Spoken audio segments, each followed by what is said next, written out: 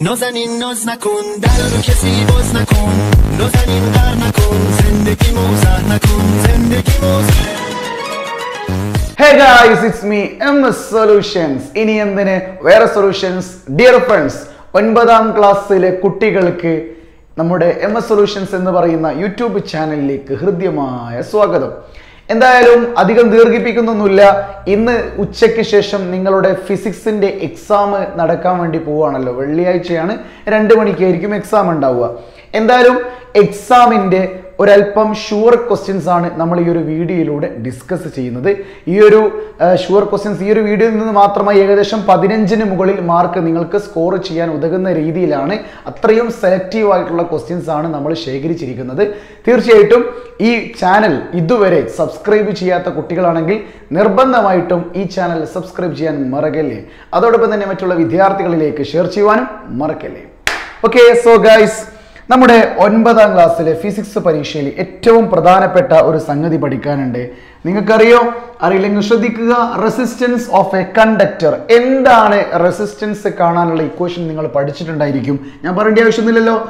R is equal to rho L by A എന്ന ഒരു equation ഉണ്ട്. ഈ ഇക്വേഷൻ പ്രകാരം നമുക്ക് മനസ്സിലാകുന്ന ഒരു കാര്യമുണ്ട്. അതായത് റെസിസ്റ്റൻസ് എന്ന് പറയുന്ന പ്രതിരോധം ആരെയൊക്കെ ഡിപ്പെൻഡ് ചെയ്യുന്നുണ്ട്? ആരെയൊക്കെ ആശ്രയിക്കുന്നുണ്ട്. നമുക്ക് മനസ്സിലായി ഈ ഇക്വേഷൻ എങ്ങനെയാണ് കിട്ടുന്നത്? ആറ് എന്ന് പറയുന്നത് റോ എന്ന് പറയുന്ന റോ എന്ന് പറയുന്ന ആളെ ഡിപ്പെൻഡ് ചെയ്യുന്നുണ്ട്. എൽ എന്ന് പറയുന്ന ആളെ ഡിപ്പെൻഡ് ചെയ്യുന്നുണ്ട്. അതുപോലെ എ എന്ന് പറയുന്ന ആളെയും ഡിപ്പെൻഡ് ചെയ്യുന്നുണ്ട്. ഇതല്ലാതെ മറ്റൊരാൾ കൂടിയുണ്ട്. അയാളാണ് ടെമ്പറേച്ചർ സോ ഈ നാല് ആൾക്കാരെയും ആര് റെസിസ് റെസിസ്റ്റർ എന്ത് ചെയ്യുന്നുണ്ട്? ഡിപ്പെൻഡ് ചെയ്യുന്നുണ്ട്. ഏതൊക്കെയാണ് ആ ഫാക്ടേഴ്സ് എന്ന് പേര് പഠിക്കണം? റോ എന്ന് പറഞ്ഞു കഴിഞ്ഞാൽ എന്താണ് അതിന്റെ പേര്? റെസിസ്റ്റിവിറ്റി എന്താ പറയാ? റെസിസ്റ്റിവിറ്റി ഓഫ് എ കണ്ടക്ടർ അല്ല റെസിസ്റ്റിവിറ്റി ഓഫ് എ മെറ്റീരിയൽ ആ റോ എന്ന് പറഞ്ഞാൽ എന്താണ് റെസിസ്റ്റിവിറ്റി ഓഫ് എ മെറ്റീരിയൽ ഇനി എ എന്ന് പറഞ്ഞാൽ എന്താണ്? സോറി എൽ എന്ന് പറഞ്ഞാൽ എന്താണ്? Length of the conductor L എന്ന് പറഞ്ഞാൽ ആരാണടാ? ലെങ്ത് ഓഫ് ദ കണ്ടക്ടർ ഒരു കണ്ടക്ടറിന്റെ ഒരു ചാലകത്തിന്റെ നീളമാണ് എല്ല് ഇനി ഏരിയ എന്ന് പറഞ്ഞാൽ എന്താ? It is the area of area of cross section of area of cross section of conductor of the conductor. ഒരു കണ്ടക്ടറിന്റെ ഏരിയ ഓഫ് ക്രോസ് സെക്ഷനെയാണ് എ എന്ന് പറയുന്നത്. സിംപ്ലി നമുക്ക് എന്ത് പറയാം? പരപ്പളവ് എന്ന് പറയാം. ഇനി ടി എന്ന് പറഞ്ഞാൽ ആരാണ്? താപനില അഥവാ ടെമ്പറേച്ചർ ഇതൊക്കെയാണ്. സോ ഒരു റെസിസ്റ്ററിനെ ഡിപ്പെൻഡ് ചെയ്യുന്ന ഫാക്ടേഴ്സ് ഏതൊക്കെ എന്ന് പരീക്ഷയ്ക്ക് ചോദിച്ചാൽ പ്രതിരോധത്തിനെ ആശ്രയിക്കുന്ന ആൾക്കാർ ആ ഘടകങ്ങൾ ആരൊക്കെയാണ് എന്ന് പരീക്ഷയ്ക്ക് ചോദിച്ചാൽ റോ എൽ എ ടി. ഏതൊക്കെയാണ്? റോ എന്ന് പറഞ്ഞു കഴിഞ്ഞാൽ resistivity of a material L എന്ന് പറഞ്ഞു കഴിഞ്ഞാൽ length of the conductor A എന്ന് പറഞ്ഞാൽ area of cross section of the conductor of the conductor T എന്ന് പറഞ്ഞു കഴിഞ്ഞാൽ ടെമ്പറേച്ചർ അഥവാ താപനില. ഇത് പഠിച്ചിട്ടേ പോകാവൂ കേട്ടോ ഓക്കെ. ഇനി അടുത്തത് എന്ന് പറയുന്നത് ക്യാപ്പില്ലറി റൈസും ക്യാപ്പില്ലറി ഡിപ്രഷനും. ഇത് നിങ്ങൾ പഠിച്ചിട്ടുണ്ടാവുമല്ലോ. കേശിക ഉയർച്ചയും കേശിക താഴ്ചയും ഈ കേശിക ഉയർച്ചയും കേശിക താഴ്ചയും ഒക്കെ പഠിക്കുന്നത് ആരെ ഉപയോഗിച്ചിട്ടാണ്? നിങ്ങൾ പഠിച്ചിട്ടുണ്ടാവുക വാട്ടറും അതുപോലെ തന്നെ മെർക്കുറിയുമാണ്. ഒന്ന് ജസ്റ്റ് ഒന്ന് ശ്രദ്ധിക്കുക. നമ്മൾ സാധാരണ ഒരു വാട്ടറിൽ ഒരു ട്യൂബ് ഒരു ട്യൂബ് ഇറക്കി വെച്ച് കഴിഞ്ഞാൽ അതിൽ നിന്നുള്ള വെള്ളം ഒരല്പം പൊങ്ങിയിട്ട് ഈ ട്യൂബിലേക്ക് കയറും. ഓക്കെ പിക്ചറാണ് കേട്ടോ നിങ്ങൾ ശ്രദ്ധിക്കേണ്ടത്. പിക്ചർ കറക്റ്റ് നിങ്ങൾ നോട്ട് ചെയ്യുക. പൊതുവെ പിക്ചർ കുറച്ച് പിക്ചേഴ്സ് തന്നിട്ട് അത് ശരിയാണോ? അല്ലെ ഇതിൽ ഏതാണ് ക്യാപ്പില്ലറി റൈസ് ഏതാണ് ക്യാപ്പില്ലറി ക്യാപ്പില്ലറി ഡിപ്രഷന് എന്നൊക്കെ പരീക്ഷയ്ക്ക് ചോദിക്കാറുണ്ട്. അതുപോലെ തന്നെ തിരിച്ചും ചോദിക്കാം ക്യാപ്പില്ലറി റൈസും ക്യാപ്പില്ലറി ഡിപ്രഷനും വാട്ടറും മെർക്കുറിയും എക്സാമ്പിൾ തന്നിട്ട് വരയ്ക്കാൻ പറയാം. ഓക്കെ സോ വാട്ടറിൽ നമ്മൾ സാധാരണ ട്യൂബ് ഇറക്കി വെക്കുന്ന സമയത്ത് ഈ വാട്ടർ സാധാരണ ലെവലിൽ നിൽക്കുന്ന ഈ ഒരു വാട്ടർ കുറച്ചും കൂടി ഈ ട്യൂബിൽ ഉയർന്നു നിൽക്കും. അതിനെ പറയുന്ന പേരാണ് എന്ത് ക്യാപ്പില്ലറി റൈസ് കേശിക ഉയർച്ച എന്ന് പറയും. എന്നാൽ നിങ്ങൾ മെർക്കുറി പോലെയുള്ള ഒരു മെറ്റീരിയൽ മെർക്കുറിയുടെ ഒരു ദ്രാവകത്തിലേക്കാണ് ഇതേ ലെങ്ത് ഉള്ള ഇതേ ഏരിയ ഓഫ് ക്രോസ് സെക്ഷൻ ഉള്ള ഒരു ഒരു ഒരു ട്യൂബ് നിങ്ങൾ ഇറക്കി വെച്ച് കഴിഞ്ഞാൽ അതിൽ റൈസ് അല്ല ഉണ്ടാവുക. ആ ട്യൂബിൽ ഒരല്പം താന്നിട്ട് സാധാരണ വെള്ളത്തിന് ആ വെള്ളവും കുറച്ച് താന്നിണ്ടായി അതായത് മെർക്കുറിയും കുറച്ച് ഇങ്ങനെ താന്നിട്ടുണ്ടായിരിക്കും. ഓക്കെ ആ വെള്ളവും ഇങ്ങനെ കുറച്ച് താന്നിട്ടുണ്ടാകും.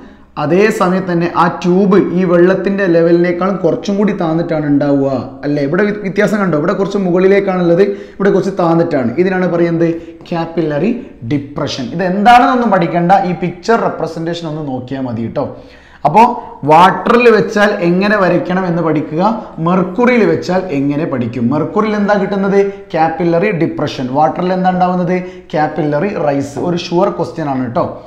ഇനി അതുപോലെ തന്നെ നിങ്ങൾക്ക് ഒരു ഗ്രാഫിക്കൽ റെപ്രസെന്റേഷൻ ചോദിക്കാം. നിങ്ങളുടെ വെലോസിറ്റിയും ഡിസ്പ്ലേസ്മെന്റ് ഒക്കെ പഠിക്കുന്ന മോഷന്റെ ചാപ്റ്റർ വെച്ചിട്ട് നിങ്ങളോട് എന്ത് ചോദിക്കാനുള്ള സാധ്യതയുണ്ട്?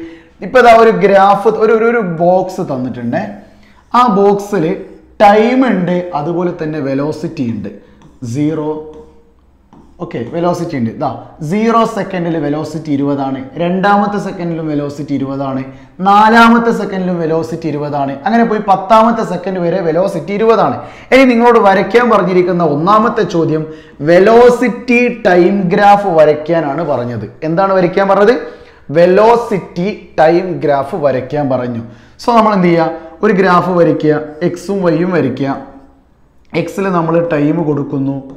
അതോടൊപ്പം തന്നെ വൈയിൽ നമ്മൾ എന്ത് കൊടുക്കുന്നു? വെലോസിറ്റിയും കൊടുക്കുന്നു. ഇനി നിങ്ങൾ ഓരോന്നും അടയാളപ്പെടുത്തുക. പൂജ്യം സെക്കൻഡിൽ ഇരുപത്. ഇപ്പോൾ ഇത് പത്താണ് ഇത് ഇരുപതാണ്. പൂജ്യം സെക്കൻഡിൽ ഇത് പൂജ്യം സെക്കൻഡ് പിന്നെ ആരാ? രണ്ടാമത്തെ സെക്കൻഡ് നാല് ആറ് എട്ട് പത്ത്. ഇങ്ങനെ പോയി. പൂജ്യം സെക്കൻഡിൽ വെലോസിറ്റി എത്രയാണ്? ഇരുപത്. അല്ലേ? ഇരുപതല്ലേ? ഇരുപത്. രണ്ടാമത്തെ സെക്കൻഡിലോ ഇരുപത്. നാലാമത്തെ സെക്കൻഡിലോ ഇരുപത്. സോ ഇതിങ്ങനെ നമുക്കൊരു സ്ട്രൈറ്റ് ആയിട്ടുള്ള ഒരു ലൈനാണ് കിട്ടുന്നത്. ശരിയല്ലേ? സീറോയിൽ തന്നെ ഇരുപത് ഉണ്ട്. സോ ഇങ്ങനെ പോകുന്ന ഒരു സ്ട്രൈറ്റ് ലൈനാണ് നമുക്ക് കിട്ടുന്നത്. സോ വെലോസിറ്റി ടൈം ഗ്രാഫ് ഇവിടെ കിട്ടിയിരിക്കുന്നത് ഒരു സ്ട്രൈറ്റ് ലൈനാണ് എന്ന് നിങ്ങൾ മനസ്സിലാക്കുക. ഓക്കെ നിങ്ങൾക്ക് രണ്ട് ഗ്രാഫേ പഠിക്കാനുള്ളൂ. ഇതുപോലെ സ്ട്രൈറ്റ് ലൈന്റെ ഗ്രാഫും അതുപോലെ തന്നെ ഇങ്ങനെ യൂണിഫോം മോഷനിലുള്ള ഒരു ഗ്രാഫുമാണ് പഠിക്കാനുള്ളത്. ഈ രണ്ടിലേതോ ഒന്ന് പരീക്ഷയ്ക്ക് ചോദിച്ചിരിക്കും. ഇനി calculate the displacement from four second to ten second ഈ തന്നിരിക്കുന്ന ഗ്രാഫിൽ നാലാമത്തെ സെക്കൻഡ് മുതൽ പത്താമത്തെ സെക്കൻഡ് വരെയുള്ള ഡിസ്പ്ലേസ്മെന്റ് കണ്ടുപിടിക്കുക. എന്താണ് കണ്ടുപിടിക്കേണ്ടത്? ഡിസ്പ്ലേസ്മെന്റ് ആണ് കണ്ടുപിടിക്കേണ്ടത്. സോ നിങ്ങളൊരു ഇക്വേഷൻ പഠിച്ചിട്ടുണ്ട്. S is equal to U T plus half A T square എന്ന ഒരു ഇക്വേഷൻ പഠിച്ചിട്ടുണ്ട്. എന്ന് നോക്കിക്കേ ഇതിൽ എ എന്ന് പറയുന്ന ആൾ ആക്സിലറേഷൻ എത്രയായിരിക്കും? വെലോസിറ്റിയിൽ ചേഞ്ച് ഉണ്ടോ? വെലോസിറ്റിയിൽ ചേഞ്ച് ഇല്ല. ആക്സിലറേഷൻ എന്ന് പറഞ്ഞു കഴിഞ്ഞാൽ V two minus V one by T two minus T one change in velocity by change in time അല്ലേ? സോ വെലോസിറ്റി ചേഞ്ച് എടുത്തു കഴിഞ്ഞാൽ ഇരുപത് മൈനസ് ഇരുപത് എത്രയാണ് പൂജ്യം. അപ്പൊ ആക്സിലറേഷന്റെ വാല്യൂ ഇവിടെ എത്രയാണ്? പൂജ്യം. സോ ഈ half A T square complete എത്രയായിട്ട് പോകും? പൂജ്യമായിട്ട് മാറും. ബാക്കി എന്താ ഉള്ളത്? So S is equal to U into T എന്നാണ് കിട്ടുക. ഇനി യു എന്ന് പറഞ്ഞാൽ ആരാണ്? യു എന്ന് പറഞ്ഞാൽ ഇനീഷ്യൽ വെലോസിറ്റി അതിവിടെ എത്രയാണ് തന്നത്? ഇരുപതാണ് തന്നത്. ഇന്റു ടൈം എത്രയാണ്? നാല് മുതൽ പത്ത് സെക്കൻഡ് വരെ എത്ര സെക്കൻഡ് ഉണ്ട്? പത്തുനിന്ന് നാല് കുറയ്ക്കുക. ആറ്. സോ രണ്ടാറ് പന്ത്രണ്ട്. നൂറ്റി ഇരുപത് ഇനി ഡിസ്പ്ലേസ്മെന്റിന്റെ യൂണിറ്റ് എന്താ? മീറ്റർ സോ നൂറ്റി ഇരുപത് മീറ്റർ എന്ന ഒരു ഉത്തരമാണ് നമുക്കിവിടെ ലഭിക്കുന്നത്. അപ്പോൾ ഇങ്ങനൊരു ചോദ്യം എന്തായാലും പരീക്ഷയ്ക്ക് പ്രതീക്ഷിക്കാം. ഗ്രാഫ് ത ഒരു ബോക്സ് തന്നിട്ട് ഗ്രാഫ് വരയ്ക്കാനോ? അല്ലെ ഗ്രാഫ് തന്നിട്ട് ഇങ്ങനെ ഇക്വേഷൻസിലൂടെ സോൾവ് ചെയ്യാനോ ഡിസ്പ്ലേസ്മെന്റ് കാണാൻ വെലോസിറ്റി കാണാൻ ടൈറ്റ് പിന്നെ ഡിസ്റ്റൻസ് കാണാൻ സ്പീഡ് കാണാൻ അങ്ങനെ എന്തും ചോദിക്കുക കേട്ടോ. ഓക്കെ സോ ഇനി അടുത്ത ഗ്രാഫ് എന്ന് പറയുന്നത് നമ്മുടെ വേവ് എന്ന് പറയുന്ന ചാപ്റ്ററുമായി ബന്ധപ്പെട്ടിട്ടുള്ള ഒരു ഷുവർ ക്വസ്റ്റ്യൻ ആണ്. നിങ്ങൾക്ക് ഇവിടെ ഒരു വേവ് തന്നിട്ടുണ്ട്. എന്നിട്ട് നിങ്ങളോട് ചോദിക്കുകയാണ് ഇതിന്റെ വേവ് ലെങ്ത് എത്ര? ഫ്രീക്വൻസി എത്രയാ? സ്പീഡ് എത്രയാണ്? പിന്നെ ഇത് ഏത് വേവ് ആണ് എന്നൊക്കെയാണ് ചോദിക്കുന്നത്. ഓക്കെ റെഡിയാണല്ലോ സോ ആദ്യത്തെ ചോദ്യം വേവ് ലെങ്ത് വേവ് ലെങ്ത് എന്ന് പറഞ്ഞാൽ ഒരു ക്രസ്റ്റിനെയും ഒരു ട്രഫിനെയും അല്ലേ വേവ് ലെങ്ത് എന്ന് പറയാ? ഈ ലെങ്ത് എത്രയാണ്? നാല് എന്നിവിടെ തന്നിട്ടുണ്ട്. സോ നമുക്കറിയാം ലാംഡ ഇസ് ഈക്വൽ ടു നാല് എന്ന് കിട്ടി. വേവ് ലെങ്ത് നാല് എന്ന് കിട്ടി. ഇനി ഫ്രീക്വൻസി വേവ് ലെങ്ത് നാല് മീറ്റർ ആണ് കേട്ടോ മീറ്റർ ആണ് ഇവിടെ തന്നത്? മീറ്റർ ആണെങ്കിൽ മീറ്റർ സെന്റിമീറ്റർ ആണെങ്കിൽ സെന്റിമീറ്റർ ഇവിടെ ഏതാണ് യൂണിറ്റ് തരുന്നത് ഇപ്പോൾ ഡിസ്റ്റൻസ് ഇനി മീ സെന്റിമീറ്റർ ആണ് കൂട്ടിക്കും. അപ്പോൾ നാല് സെന്റിമീറ്റർ എന്ന് കിട്ടി. ഇത് ഒരു സെക്കൻഡിൽ ഉണ്ടായ വേവ് ആണെന്ന് കൂട്ടുക. ഒരു സെക്കൻഡിൽ ഉണ്ടായ ക്രസ്റ്റും ട്രഫും ഒക്കെയാണ് ഇവിടെ തന്നിരിക്കുന്നത്. ഓക്കെ സോ ഇനി അടുത്ത ചോദ്യം. വേവ് ലെങ്ത് കണ്ടു കഴിഞ്ഞാൽ തൊട്ടടുത്ത ക്വസ്റ്റ്യൻ എന്തായിരിക്കും? ഫ്രീക്വൻസിയാണ് നിങ്ങൾ പഠിച്ചിട്ടുണ്ട് ഫ്രീക്വൻസി കാണുന്ന ഇക്വേഷൻ എന്ന് പറയുന്നത് number of turns divided by time ആണ് എന്ന് നിങ്ങൾ പഠിച്ചിട്ടുണ്ട്. നമ്പർ ഓഫ് ടേൺസ് എത്രയാണ്? ഇതാ നോക്കിക്കോ. ഒന്ന് രണ്ട് മൂന്ന്. മൂന്നെണ്ണമാണ് ബൈ ടൈം വൺ സെക്കൻഡിലാണ് ഉണ്ടായതെന്ന് ക്വസ്റ്റ്യനിൽ പറഞ്ഞിട്ടുണ്ട്. സോ വണ്ണ് കൊടുത്തു. അപ്പോൾ നമുക്ക് ഫ്രീക്വൻസി എത്ര കിട്ടി? ത്രീ ഹെഡ്സ് ഫ്രീക്വൻസിന് യൂണിറ്റ് എന്താണ്? ഹെഡ്സ് ത്രീ ഹെഡ്സ് എന്ന് കിട്ടി. ഇനി അടുത്ത ചോദ്യം ചോദിച്ചത് സ്പീഡാണ് അവിടെ നമ്മൾ ഇക്വേഷൻ പഠിച്ചിട്ടുണ്ട് velocity is equal to F into lambda എന്ന് പഠിച്ചിട്ടുണ്ട്. വെലോസിറ്റിയാണ് കാണാൻ ചോദിച്ചത്. എഫ് എന്ന് പറഞ്ഞു കഴിഞ്ഞാൽ കിട്ടിയിട്ടുണ്ട് മൂന്ന് ഇന്റു ലാംഡ തന്നിട്ടുണ്ട് നാല് സോ മൂന്ന് ഇന്റു നാല് പന്ത്രണ്ട്. വെലോസിറ്റിയുടെ unit metre per second unit ഇടാൻ മറന്നു പോകരുത്. യൂണിറ്റ് ഇട്ടില്ലെങ്കിൽ മാർക്ക് കിട്ടൂല. ഓക്കെ അടുത്തത് ടൈപ്പ് ഓഫ് വേവ് ഇത് ഏത് വേവ് ആണ് എന്ന് ചോദിച്ചു കഴിഞ്ഞാൽ ക്രസ്റ്റും ട്രഫും ഒക്കെയുള്ള വേവ് എന്ന് പറയുന്നത് ഏതാടാ? ട്രാൻസ്വേഴ്സ് വേവ് ആണോ ലോഞ്ചിറ്റ്യൂഡിനാൽ വേവ് ആണോ യെസ് നമ്മൾ പഠിച്ചിട്ടുണ്ട് ട്രാൻസ്വേഴ്സ് വേവ് ആണ് ഇത് ഏത് തരം വേവ് ആണ് ട്രാൻസ് വേഴ്സ് വേവ് ആണ് അപ്പോൾ പരീക്ഷയ്ക്ക് ഇതുപോലെയുള്ള ഒരു ചോദ്യമായിരിക്കാം. ഒരു പക്ഷേ വേവ് എന്ന് പറയുന്ന ചാപ്റ്ററിൽ നിന്ന് നാല് മാർക്കിനോ മൂന്ന് മാർക്കിനോ ചോദിക്കാൻ സാധ്യതയുള്ള ഒരു ചോദ്യമാണ് ഇവിടെ തന്നിരിക്കുന്നത്. ഇനി അഞ്ചാമതായിട്ട് ഒരു ചോദ്യം നോക്കൂ. Problems due to multiple reflection ആവർത്തിച്ചുള്ള പ്രതിപതനം കാരണം ഒരു ഹാളിൽ ഉണ്ടാകുന്ന പ്രശ്നങ്ങൾ എന്തൊക്കെയാണ്? നമ്മൾ രണ്ട് പ്രശ്നങ്ങളാണ് പൊതുവെ ടെക്സ്റ്റ് ബുക്കിൽ പഠിക്കുന്നത്. ഒന്ന് എക്കോയും രണ്ട് റിവർബറേഷനുമാണ് പഠിക്കുന്നത്. ഏതൊക്കെയാണ്? ഒന്ന് എക്കോ പഠിക്കുന്നുണ്ട്. അതോടൊപ്പം തന്നെ റിവർബറേഷൻ ഇത് രണ്ടുമാണ് പഠിക്കുന്നത്. സോ നമുക്ക് പറയാം. മൾട്ടിപ്പിൾ റിഫ്ലക്ഷൻ മുഖേന ഉണ്ടാകുന്ന രണ്ട് പ്രോബ്ലം ഒന്ന് എക്കോ ഉണ്ടാകും രണ്ട് റിവർബറേഷൻ ഉണ്ടാകും. ഇത് രണ്ടും ഒഴിവാക്കാനാണ് അക്വസ്റ്റിക് ഓഫ് ബിൽഡിംഗ് എന്ന് പറയുന്ന ഒരു സജ്ജീകരണം ഒരു സയന്റിഫിക് ഒരു ടൈപ്പ് സംഗതിയാണ് അക്വസ്റ്റിക് ഓഫ് ബിൽഡിംഗ് ബിൽഡിനെ ഒന്നും കൂടി ഒന്ന് അക്കൗണ്ടിങ് ചെയ്യുക. അതെങ്ങനെയാണ് മിനിമൈസ് ചെയ്യുന്നത്? അതായത് ഇപ്പൊ എനിക്കൊരു ഹാളിൽ ഒരു ഹാൾ ഞാൻ ഉണ്ടാക്കി കഴിഞ്ഞാൽ ഒരു വീടിൽ ഹാൾ ഉണ്ടാക്കി കഴിഞ്ഞാൽ സൗണ്ട് ഡിസ്റ്റർബൻസ് ഉണ്ടാവാൻ പാടില്ല. റിവർബറേഷൻ ഉണ്ടാവാൻ പാടില്ല. ബൾക്കായിട്ട് സൗണ്ട് ഇങ്ങനെ വരാൻ പാടില്ല. എക്കോ അടിക്കാൻ പാടില്ല.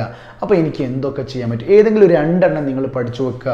ഞാനിപ്പോൾ നിങ്ങളെ പഠിപ്പിക്കുന്ന രണ്ടെണ്ണം. ഒന്ന് മേക്കിംഗ് റഫ് ദ വാൾ ആ വാളിനെ ഒന്ന് കട്ടിയുള്ള പരുപരുത്ത കട്ടിയുള്ള വാളാക്കി മാറ്റുക.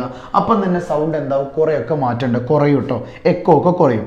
അതുപോലെ തന്നെ യൂസിങ് കാർപ്പറ്റ്സ് ആൻഡ് കർട്ടൻസ് കർട്ടനുകളും കാർപ്പറ്റ്സ് ഒക്കെ ഉപയോഗിച്ച് കഴിയുക. ഉപയോഗിച്ചാൽ നിങ്ങൾക്ക് ഒരുപാട് എക്കോയും അതുപോലെ തന്നെ റിവർബറേഷൻ എന്ന് പറയുന്ന ആ ഒരു സൗണ്ടിന്റെ ഡിസ്റ്റർബൻസും ഒഴിവാക്കാൻ കഴിയും. ഒന്നും വേണ്ട. ഒരു വീട് ഉണ്ടാക്കുന്ന സമയത്ത് സാധാ ഒരു ഹാളിൽ പോയി കുത്തിരുന്ന് ഹലോ ഹലോ എന്ന് ചൊല്ലുമ്പോൾ എക്കോ അടിക്കും. പക്ഷെ പിന്നീട് സാധനങ്ങളൊക്കെ കൊണ്ടുവച്ചിട്ട് നമ്മൾ ഹലോ എന്ന് പറഞ്ഞു കഴിഞ്ഞാൽ നമ്മളെ സൗണ്ട് നമ്മൾ തന്നെ കേൾക്കാൻ പറ്റാത്തൊരു അവസ്ഥയായിരിക്കും അല്ലേ? അങ്ങനെ സാധനങ്ങൾ കൊണ്ടുപോയി വെച്ച് കഴിഞ്ഞാൽ സൗണ്ട് ഇങ്ങനെ കുറഞ്ഞോളൂ കേട്ടോ ഇപ്പോൾ രണ്ട് എക്സാമ്പിൾ ഞാൻ പറഞ്ഞു പറഞ്ഞത് മേക്കിംഗ് റഫ് ദ വാൾ അതായത് ഭിത്തി കുറച്ച് കട്ടിയുള്ള ഭിത്തിയാക്കുക. രണ്ട് യൂസിങ് കാർപ്പറ്റ്സ് ആൻഡ് കർട്ടൻസ് കാർപ്പറ്റുകളും കർട്ടനുകളും ഉപയോഗിക്കുക. സോ ഞാനിപ്പോൾ ഇവിടെ ചെയ്തിരിക്കുന്ന ഓരോ ക്വസ്റ്റ്യൻസും വെരി വെരി ഇമ്പോർട്ടന്റ് ആണ്. നിങ്ങൾ പഠിക്കണം. ഒന്നാമത്തെ ചോദ്യം കണ്ടക്ടറിന്റെ റെസിസ്റ്റൻസിനെ സ്വാധീനിക്കുന്ന ഘടകങ്ങൾ rho L A T rho എന്ന് പറഞ്ഞാൽ റെസിസ്റ്റിവിറ്റി ഓഫ് മെറ്റീരിയൽ എൽ എന്ന് പറഞ്ഞാൽ length of the conductor A എന്ന് പറഞ്ഞു കഴിഞ്ഞാൽ area of cross section of the conductor T എന്ന് പറഞ്ഞു കഴിഞ്ഞാൽ താപനില. രണ്ടാമതായിട്ട് കാപ്പിലറി റൈസും കാപ്പിലറി ഡിപ്രഷനും ആണുള്ളത്. വാട്ടറിലാണെങ്കിൽ കാപ്പിലറി റൈസും മെർക്കുറിയിലാണെങ്കിൽ കാപ്പിലറി ഡിപ്രഷനുമാണ് വരയ്ക്കാൻ പഠിച്ച പഠിക്കണം നിർബന്ധമാണ് വാട്ടർ ആണെങ്കിൽ കുറച്ച് പൊങ്ങിയിട്ടാണ് വരച്ചു കൊടുക്കുക. മെർക്കുറിയാണെ കുറച്ച് താത്തിരി വരയ്ക്കുക. പിന്നെ മാറിപ്പോകരുത് ഫോർ എക്സാമ്പിൾ ഇപ്പോൾ പറയുകയാണെങ്കിൽ ഒരു ബീക്കറിൽ നമ്മൾ എന്തോ ഒരു വെള്ളം ഉണ്ട് കേട്ടോ. ഓക്കെ എന്നിട്ട് ഇതാ ഇവിടെ ഒരു ട്യൂബ് വെച്ചിട്ടുണ്ട്. ആ ട്യൂബ് ഓക്കെ ആ ട്യൂബിൽ ഇതാ ഇങ്ങനെ നിൽക്കുകയാണെങ്കിൽ ഇത് ഏതാണെന്ന് പറയാൻ പറ്റുമോ? അപ്പോൾ നിങ്ങൾ പറയും ആ ഇത് കാപ്പിലറി റൈസ് അല്ലേ? അല്ലട്ടോ കേട്ടോ റൈസ് ഒരിക്കലും ഇങ്ങനെ പൊങ്ങിക്കിടക്കൂല ഇങ്ങനെ താന്നേ കിടക്കുള്ളൂ കേട്ടോ അതായത് ആ ട്യൂബിലുള്ള സാധനം ഇങ്ങനെ താന്ന് തന്നെ കിടക്കണം കേട്ടോ ആ വെള്ളത്തിന്റെ അളവ് താന്ന് തന്നെ കിടക്കണം. ഒരിക്കലും വെള്ളം പൊങ്ങിക്കിടക്കൂല. ഓക്കെ യെസ് അതൊന്ന് ശ്രദ്ധിച്ചാൽ മതി കേട്ടോ ഓക്കെ അതുപോലെ തന്നെ ഇതുപോലൊരു ടേബിൾ തന്നിട്ട് നിങ്ങളോട് ഗ്രാഫ് വരയ്ക്കാൻ പറയും. അതുപോലെ ഇക്വേഷൻസിലൂടെ ഡിസ്പ്ലേസ്മെന്റോ വെലോസിറ്റിയോ മറ്റോ കണ്ടുപിടിക്കാൻ പറയും. അതുപോലെ തന്നെ വേവിന്റെ ചാപ്റ്ററിൽ നിന്ന് ഇത് മാത്രമേ ചോദിക്കുള്ളൂ. ഷുവർ ക്വസ്റ്റ്യൻ ആണ്. നിങ്ങൾക്ക് ഇന്നത്തെ എക്സാം ഹാളിൽ ഇതുപോലൊരു പിക്ചർ കാണാൻ സാധിക്കും. ഗ്യാരണ്ടീഡ് ആണ് കേട്ടോ കാര്യം വേവിൽ ഇത്രയൊരു ചോദ്യം ഇല്ലെങ്കിൽ ആ പരീക്ഷ ടഫാണ് എന്നാണ് അർത്ഥം. ഓക്കെ സോ വേവ് ലെങ്ത് കണ്ടുപിടിക്കാൻ പിന്നെ ഫ്രീക്വൻസി കാണുക പിന്നെ സ്പീഡ് കാണാൻ പറയും പിന്നെ എന്ത് പറയും? വേവ് ഏത് ടൈപ്പാണ് എന്ന് ചോദിക്കും. പിന്നെ ഏറ്റവും അവസാനമായിട്ട് നമ്മുടെ മൾട്ടിപ്പിൾ റിഫ്ലക്ഷൻ കാരണമുള്ള പ്രോബ്ലംസ് റിവർബറേഷനും അതുപോലെ തന്നെ എക്കോയുമാണ് അതിനെ മറികടക്കാൻ മിനിമൈസ് ചെയ്യാൻ നിങ്ങൾ കർട്ടൻ അതുപോലെ തന്നെ കാർപ്പറ്റ്സ് എന്നിവ ഉപയോഗിക്കുക. Making rough the wall wall റഫാക്കി മാറ്റുക. സോ ഈ ഒരു കാര്യങ്ങളൊക്കെ ഈ ഒരു അഞ്ച് ക്വസ്റ്റ്യൻസ് നിങ്ങൾ കൃത്യമായിട്ട് പഠിക്കുക. അങ്ങനെയാണെങ്കിൽ തീർച്ചയായിട്ടും നിങ്ങൾക്ക് പതിനഞ്ച് മാർക്കോളം സ്കോർ ചെയ്യാൻ സാധിക്കും എന്ന ഒരു ധാരണ നിങ്ങൾ തന്നെ സ്വയം ഉണ്ടാക്കിയെടുക്കുക. ഒന്നിനെയും പേടിക്കേണ്ട പഠിച്ചത് വെച്ചിട്ട് എക്സാം ഹാളിലേക്ക് ചെല്ലുക. എന്നിട്ട് തിരിച്ചു വരിക. എക്സാം എങ്ങനെയുണ്ടായിരുന്നു എന്ന് ഈ വീഡിയോയുടെ അടിയിൽ കമന്റ് ചെയ്യുക. ഓക്കെ റെഡിയാണല്ലോ സോ തീർച്ചയായും എന്റെ പ്രിയപ്പെട്ട കുട്ടികൾക്ക് എല്ലാവർക്കും എക്സാം അടിക്കുക പൊളിക്കുക പൊളിച്ചെടുക്കുക. It's me M A solutions ഇനി എന്തിന്? വേറെ സൊല്യൂഷൻസ് ബൈ